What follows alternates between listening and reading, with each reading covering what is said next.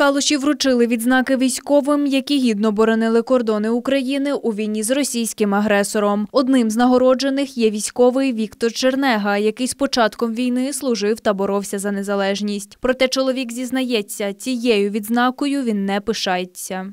Якщо правильно сказати, я би волів цю відзнаку, що будуть мені дарувати, я би хотів би її віддати тим людям, які більше заслуговують.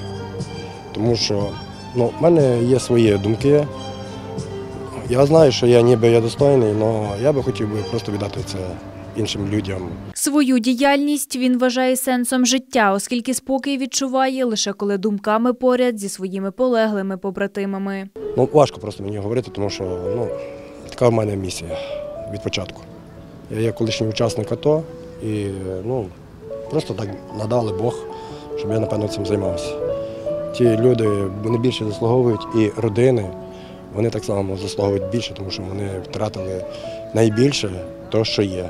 Це є сім'я, це є, як, правильно сказати, батько, син, е, брат, друг, побратим. Наше завдання об'єднуватися, адже військові повинні відчувати підтримку та опору, наголосив заступник міського голови Мирослав Тихий. Подивлячись на те, як ми е, співчуваємо зараз родинам загиблим, напевно, що ми трішки не е, доживаємо, скажімо так, ту емоцію, бо насправді воно би мало мотивувати на щось більше, ніж е, просто поспівчувати і фактично забути.